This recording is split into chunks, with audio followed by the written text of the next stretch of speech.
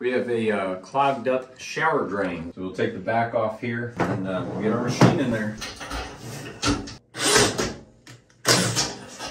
Kind of felt suspicious when we ran it, so I figured we get the camera out, just take a peek in there and see what's going on.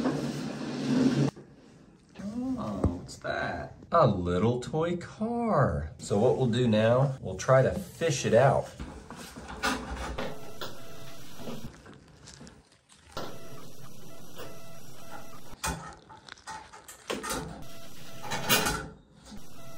Might have to take the pipe apart.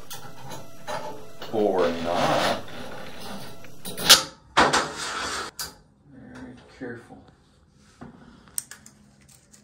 This little toy car can cause you a lot of problems. Uh, we're gonna keep this. We're gonna show it to the property manager. We're gonna put all this back together and we'll be on to the next one and I'm sure they're gonna be happy.